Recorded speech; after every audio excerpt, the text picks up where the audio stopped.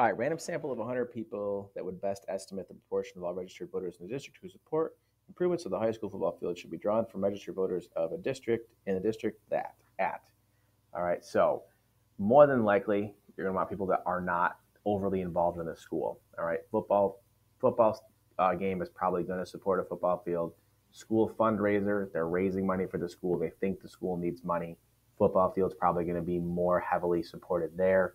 High school band concert, uh, I think this is here because people are thinking, well, they would want money for the band instead of the football. Okay, but it, they're involved in school, so there's a much higher um, percentage chance that they're going to have a really strong opinion either that the school should have this money or the school shouldn't.